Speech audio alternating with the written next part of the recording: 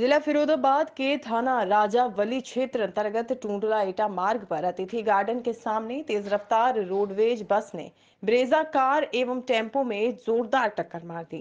चालक सहित पाँच लोगों की मौत और काफ़ी दूर जाकर गिरी एवं एवं टेंपो के परखच्चे उड़ गए। मौके पर पहुँचे पुलिस ने ग्रामीणों की सहायता से घायलों को अस्पताल पहुँचाया एवं कार, टेंपो व रोडवेज़ बस को रोड से हटाकर मार्ग को सुचारू किया।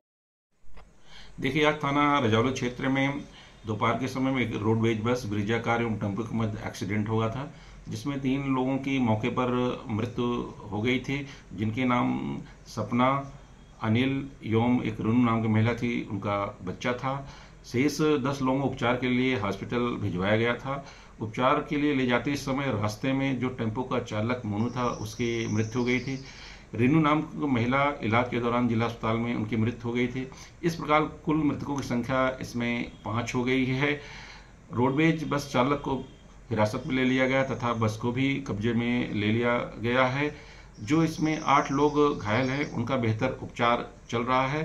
चिकित्सकों द्वारा उन्हें खतरे से बाहर बताया गया है। मृतकों का नियमानुसार पंचायत नामा भरकर पीएम की कार्रवाई कराई जा रही है। संपूर्ण प्रकरण में आवश्यक विधिक कार्रवाई कराई जा रही है।